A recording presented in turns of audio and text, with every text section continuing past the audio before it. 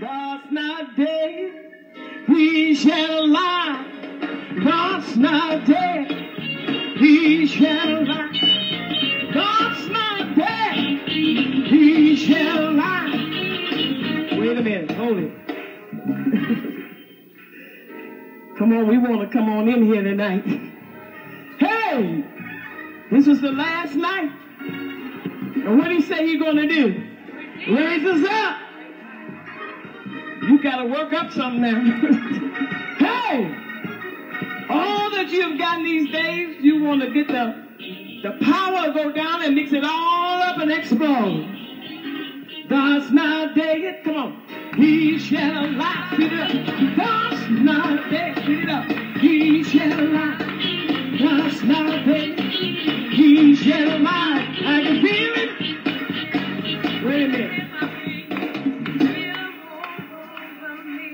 Know the song? I can't hear y'all saying nothing much. I want you to open your mouth up tonight. I mean, let the Lord know He's not dead in you. Yes, Lord. Because the power is coming to the one that's not dead. Hey, I want you to open your mouth and let him know that God is not dead tonight. God's not dead. He's alive. God's not dead. Yet alive. Well, God's not dead. He's alive. Can you feel it? Can you feel it? Can you feel it? All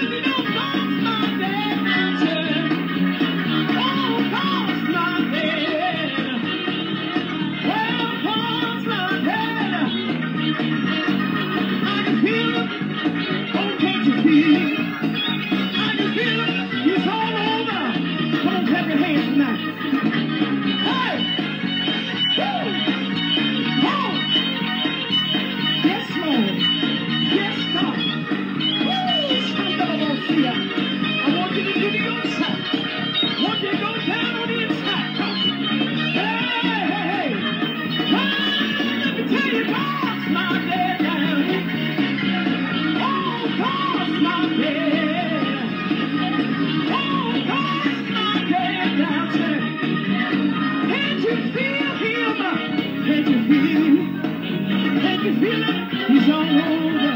Hey!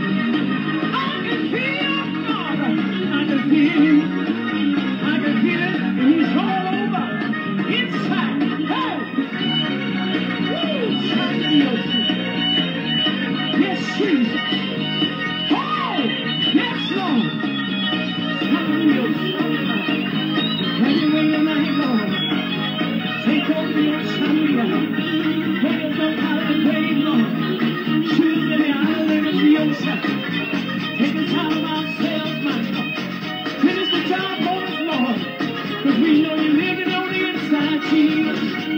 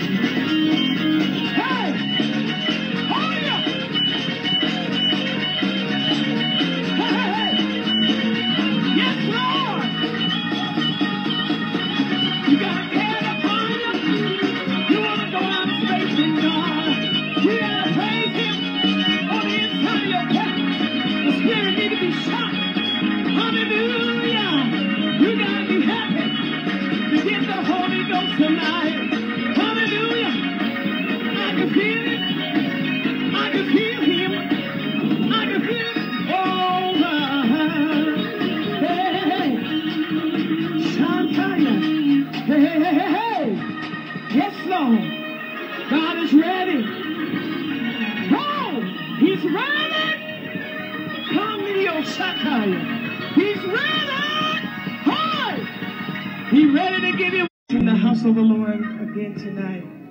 And we're looking for the Lord to bless. You can be seated. Looking for the Lord to come in the way He wants to come. Amen. God is after the charge His leaders.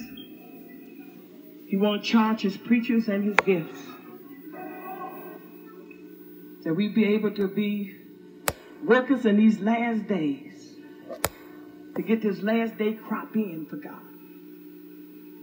We're so glad for Bishop Stacks tonight and Pastor Collins and Pastor Donald Curley.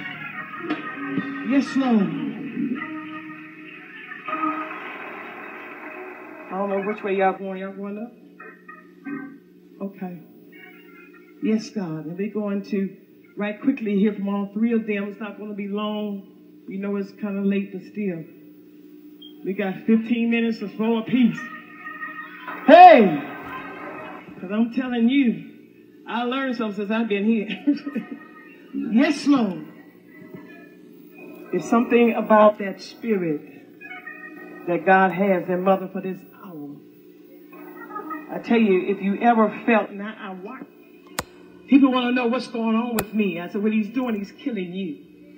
And it, it carries a numbing effect.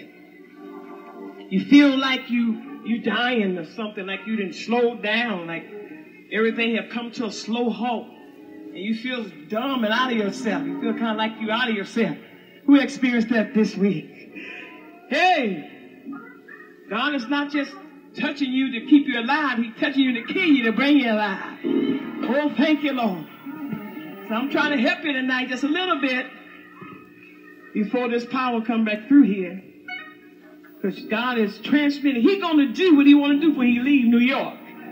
He wants to finish up what he has started on some. That they be effective when he leaves. And we looking for the Lord. I, I was watching. I said, people got to learn how to conceive. We don't know how to conceive. He's more than you just falling down. People just want to touch. But he have to be able to touch something in you. If it ain't nothing in there, you can't touch nothing. Some people say, I ain't feel nothing, ain't nothing in you. Now even a good desire. You had a good desire, he would come and set that on fire. Oh, hallelujah. You can just have a desire. I want to come out of the mess I'm in. It can be so great that it's standing up saying, Here I am, Lord. Me by.